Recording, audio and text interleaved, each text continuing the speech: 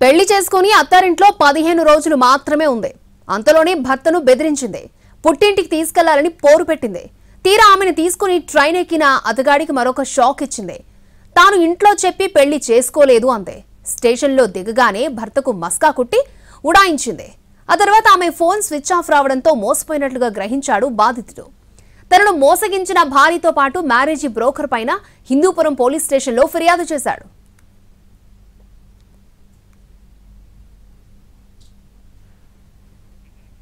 సత్యసాయి జిల్లా హిందూపురం మండలం రాచపల్లికి చెందిన వేమారెడ్డి వయస్సు నలభై ఏళ్ళు స్థానికంగా ఉండే మ్యారేజ్ బ్రోకర్ని తీసుకుని భీమవరంలో ఉండే మ్యారేజ్ బ్రోకర్ని సంప్రదించాడు. ఇద్దరూ కలిసి నాలుగు లక్షలు తీసుకుని నీలపు బాల అనే మహిళతో భీమవరంలో వివాహం జరిపించారు. ఆ తర్వాత భార్యని తీసుకుని రాచపల్లి తీసుకొచ్చాడు వేమారెడ్డి. కానీ కాపురం చేయడానికి ఒప్పుకోలేదు. తల్లిదండ్రులకు ఆరోగ్యం బాగాలేదని వెంటనే భీమవరం తీసుకెళ్ళాలని గొడవ పెట్టింది. లేకపోతే ఆత్మహత్య చేసుకుంటారని బెదిరించింది. భీమవరం తీసుకెళ్ళాక స్టేషన్లోనే మాయమైంది.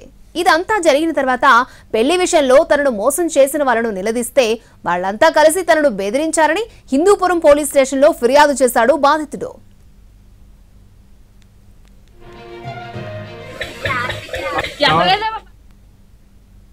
ఎవరు ఇట్లా మధ్య ఎవరు అంటేనే మాకు తెలిసి చెప్పలేదు మా చెప్పేట్లా